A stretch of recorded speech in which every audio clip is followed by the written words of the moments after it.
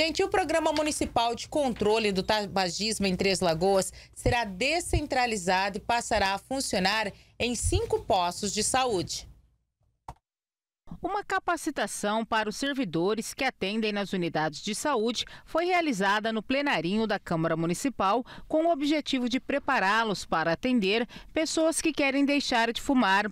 A coordenadora do Núcleo Permanente em Saúde, Jamila da Silva Gomes, explica que a ideia é fortalecer o programa que durante anos ficou centralizado no Centro de Atendimento Médico SEM. Hoje o programa ele é centralizado no SEM, né, que é o Centro de Especialidade Médica, e a ideia da gestão gestão é descentralizar esse programa para que ele possa ser ofertado para a população dentro do seu território, né? Que é ali mais próximo da casa dela, né? no postinho de saúde que a gente fala, que são as unidades de saúde da família. Jamila explica que o programa vai funcionar em cinco postos de saúde do bairro Santa Rita, Paranapungá, no Nova Três Lagoas, Interlagos e Novo Oeste. Então, todas as pessoas que têm interesse de fazer a cessação tabágica, ela pode procurar a sua unidade de saúde, tá? Se, essa, se a unidade de saúde da família dela não for uma unidade de referência, ela vai ser referenciada para a unidade de saúde mais próxima. A gerente de prevenção e controle do tabagismo da Secretaria Estadual de Saúde, Carla Tatiana Rodrigues,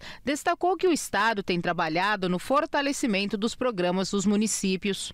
Sim, atualmente nós temos 56 municípios que fazem e desenvolvem esse programa, né, o Programa Nacional de Controle do Tabagismo.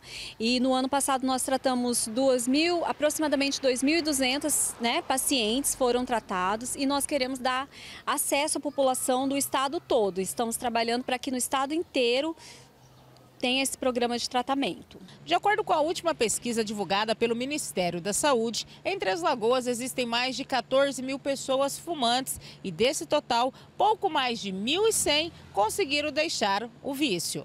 É, essa pesquisa é a Pesquisa Nacional em Saúde, ela foi feita em 2019 e ela trouxe, é, baseada no percentual de fumantes, né, que a pesquisa mostrou, então, baseado na população de Três Lagoas, chegou-se aos números de, de fumantes que foram apresentados, né.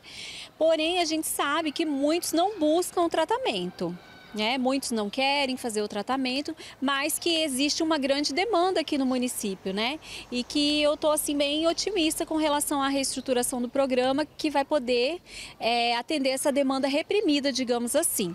Matheus Pirolo, gerente de apoio do Sistema Estadual da Vigilância Sanitária, também participou da capacitação e abordou a questão do cigarro eletrônico. Né, e trazer conhecimento de primeira é, conhecimento de ponta para esses é para esse pessoal, esses profissionais de saúde que atuam nos postos de saúde, estarem por dentro das questões relacionadas aos cigarros eletrônicos, o porquê da proibição, os malefícios que ele causa à saúde, né, estratégias para o enfrentamento desse consumo que hoje a gente vê desenfreado. Matheus ressaltou que o uso faz muito mal para a saúde. O, o cigarro eletrônico ele, ele tem mostrado é, suas consequências nocivas à saúde de forma muito mais rápida do que o cigarro comum.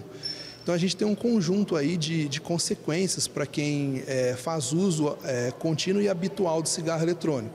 Então nós temos a DPOC, que é um, ele é fator de risco para a DPOC, né, que é uma doença pulmonar obstrutiva crônica que causa o enfisema e causa bronquite. Né, são doenças muitas vezes irreversíveis.